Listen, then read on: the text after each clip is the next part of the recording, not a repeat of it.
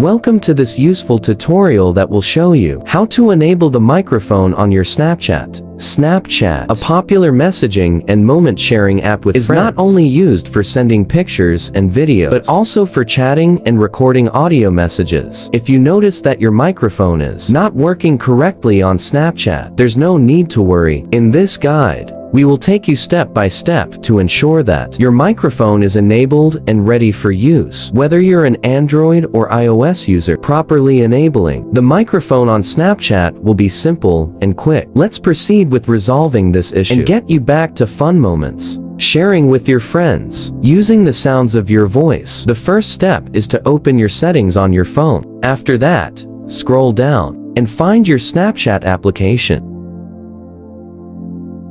Once you've found it, click on it. Now, you'll see the option microphone in the middle. Turn it on by clicking the switch next to it. This allows Snapchat to access your microphone. Now, you can send your voice messages and have conversations on Snapchat. I hope this helps.